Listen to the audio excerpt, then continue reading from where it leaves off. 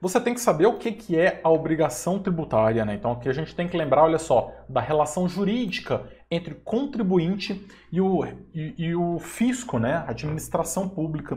E nós temos que lembrar que, em regra, o tributo ele está ligado ao fato gerador.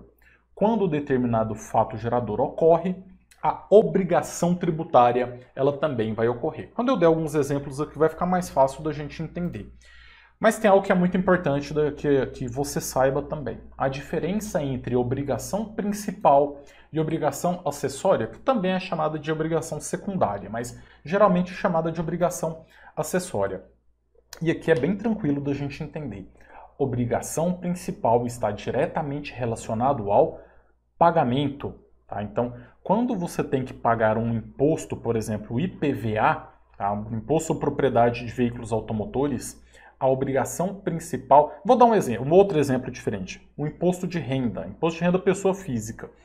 Quando você tem que pagar um imposto de renda, essa é a obrigação principal. Mas nós não temos uma obrigação de anualmente fazer a declaração do imposto de renda. Você tem que pagar para declarar? Não. Essa é uma obrigação de fazer. Você tem que fazer alguma coisa. E essa vai ser considerada uma obrigação acessória, tá bom? Então aqui tem, olha só, as acessórias são obrigações que são diversas, né? Diferentes do pagamento, perfeito?